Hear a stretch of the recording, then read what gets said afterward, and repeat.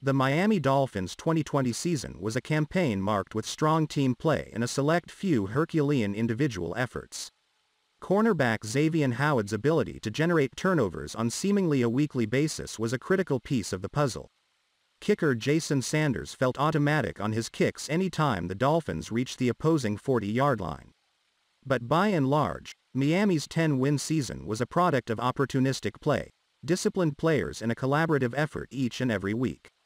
You saw a new player step up weekly, and apparently the fine folks over at Pro Football Focus believe the Dolphins will need more of the same in 2021 in order to find success, as they've shut the Dolphins out of their list of the top 50 players for the upcoming 2021 season. No one would certainly expect a kicker to make the list. But the group is apparently banking on a regression from cornerback Xavier Howard this season, too. Howard did not make the cut himself but a total of five cornerbacks did, Jaire Alexander, Green Bay. Jalen Ramsey, Los Angeles. Marlon Humphrey, Baltimore Ravens. Bryce Callahan, Denver Broncos. James Bradberry, New York Giants.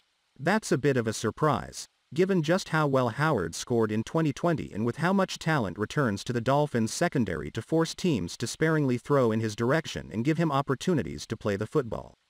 There's no shortage of contenders to rise and stake a claim this season for Miami, and the team is certainly hopeful to see a few elite talents emerge on their roster.